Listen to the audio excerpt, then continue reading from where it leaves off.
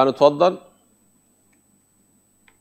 آه لا أنا أنا شيخ حيدر لي والله العظيم فهمت سؤالك. يعني العفو ما كنت مركز وياك هسه فهمت سؤالك. تقول المهاجرين والأنصار لعلم الله المسبق من المهاجرين. لعلم الله المسبق هم راح يستمرون على نفس المنهاج ويدخلون الجنة ووجب علينا اتباعهم. صح لو لا؟ لعلم الله الله علم ان هم حيستمرون صح لو لا؟ خلاص خلصت كلامك؟ اي خلصت كلامي. هو هذا ما هو ده اللي ما الله عز وجل. علم الله عز وجل علم أنهم سيدخلون الجنة فرضي عنهم وأعد لهم الجنة. كلامي صح؟ حلو.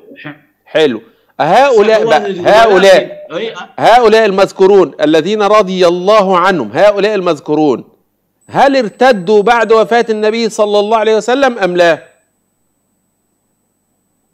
المشكلة من هم هذول؟ لا ما يخاف خلينا نجينا واحدة واحدة من هم؟ أنت قول لي اللي أنت اللي تقول لي كام أنت أنا مش هقول هم؟ مين وحدة من أنا؟ مش هقول هم مين أنت اللي قول لي أنت اللي قول لي شيخ يا شيخ وليد مالي وجب علي اتباعهم وجب علي يا عم قول لي أنا؟ سنة ممكن أقول لك أسماء أنا هقول لك أسماء أنت مش هترضى عنها فأنا سايب لك أنت اختيار لا، لا، الأسماء. بس, بس على شرط الرسول نص عليهم ما أنا بقول لك يا أستاذ أنا دلوقتي. أنا قضيتي ليست في الأسماء. بالقرآن. يعني أنا دلوقتي لو قلت لك أبو بكر؟ اسمعني بس.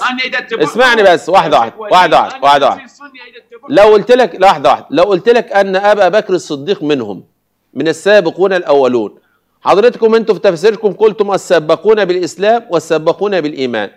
وأبي بكر الصديق سباق بالإسلام سباق بالإيمان. الرسول صلى الله عليه وسلم شخصهم واحد. قالوا صوتك وطى الرسول الرسول صلى الله عليه وسلم شخصهم واحد واحد. يا عم أنا دلوقتي في افراد هناك افراد الآن مذكورون في الآية. لا حول ولا يا- الآن يا وليد يا أستاذ يا عم نفس الحساسية بتاعت الصحابة. نفس الحساسية. يدخلهم من ناحية وعايز يخرجهم من الناحية الثانية الآن نحن متفقون أن هناك اسمعني بس اسمعني. اسمعني اسمعني اسمعني اسمعني. الآن نحن متفقون أن هناك جمع من المهاجرون وجمع من الأنصار سيدخلون الجنة صح؟ إيه. سؤالي هو بقى هذا الجمع أيا كان عدده؟ هذا الجمع أيا كان عدده؟ هل بدلوا؟ بعد النبي صلى الله عليه وسلم إيه، هل ارتدوا منهم أنا اتبعهم يا باشا إيه، انت دلوقتي يا أستاذ أنا مش بكلمك ان انت. تتبعهم ولا لا تتبعهم أنا ما سالتك تتبعهم ولا لا. تتبعهم لا أنا ما سالتك أنا ما سالتك تتبعهم ولا تتبع دي قصه تانية الاتباع في الحلقة دي قصه تانية أنا بسالك الان بص اهو غير يا اخوانا والله العظيم والله بيجي لهم هرش بيجي لهم انتكاريه بيصيبهم الجرب يا أستاذ يا أستاذ بس ما تعلي صوتك عليا وافهم اللي أنا المقصد اللي أنا عايزه. هذا الجمع الموجود في الآية. هذا الجمع اللي موجود في الآية الآن. تمام؟ هل من الممكن أن يرتدوا بعد وفاة الرسول صلى الله عليه وسلم؟ نعم لا.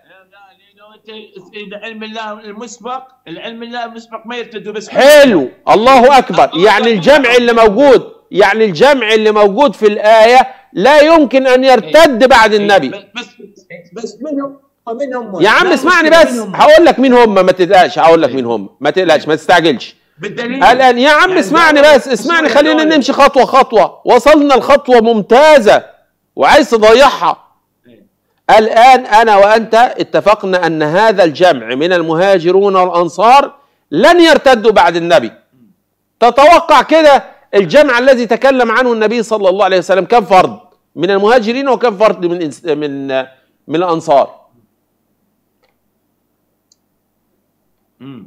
تتوقع كم فرد كده؟ من المهاجرين ومن الأنصار. دين الله لا يأخذ بالتوقع. يا عم تتوقع أنت كم فرد؟ يعني ثلاثة أربعة خمسة. دين لا لا دين الله لا يأخذ بالتوقع. طب جميل قوي أنا حلو. حلو حلو حلو حلو حلو حلو. تمام؟ طيب. في آية جميلة تقول لقد تاب الله على المهاجرين والأنصار. تمام؟ لو قلنا في أي غزوة نزلت هذه الآية وتاب على من وزكى منهم من حتى نشبكهم في الآية الأولى ونقول الأسماء التي فيهم. نعم.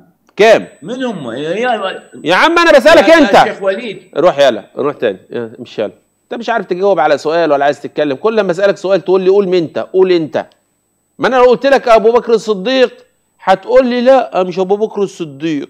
ولو قلت لك علي هتقول لي آه علي. طب عرفت منين ان هو علي مع إنه مش مذكور في الآية؟ هتقول لي أصل علي أتت فيه أحاديث تزكيه. طب ما أبو بكر الصديق أتت فيه أحاديث تزكيه. وعمر كذلك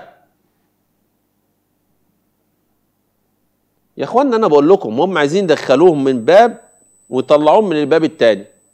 يعني هو يصدقك ويقر على كلامك من باب وبعدين في نفس الوقت عايز يخرجهم لك من باب تاني.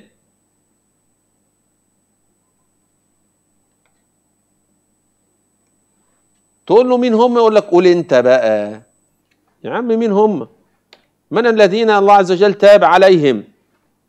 عشان نعرف لأن في الغزوات في الغزوات معروف الأسماء اللي دخلت الغزوات ديت. فساعتها أقول لك الأسماء. يا اخوانا مش من الدماغ محششة ولا حاجة لأ.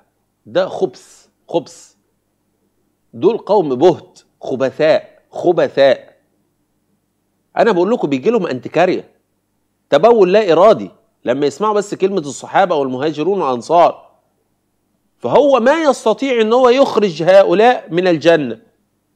ولكن عنده مشكلة في كلمة المهاجرون والأنصار.